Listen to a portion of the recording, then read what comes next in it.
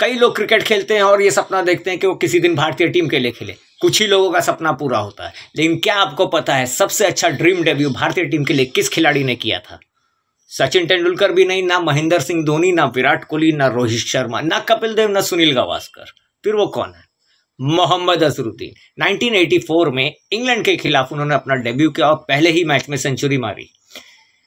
उनके नाम पे एक रिकॉर्ड ये भी दर्ज है कि तीन लगातार टेस्ट मैच में उन्होंने सेंचुरी मारी है। इससे अच्छा ड्रीम डेब्यू किसी भी खिलाड़ी ने भारतीय टीम के लिए नहीं किया। दूसरे नंबर पे है सौरभ गांगुली।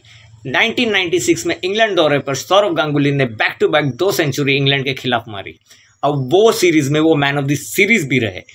वो उस वक्त टीम में आए थे जब भारतीय टीम बिल्कुल अच्छा नहीं कर रही थी उस दौरे। तीसरे नंबर पर मैं समझता हूँ नरेंद्र हिरवानी।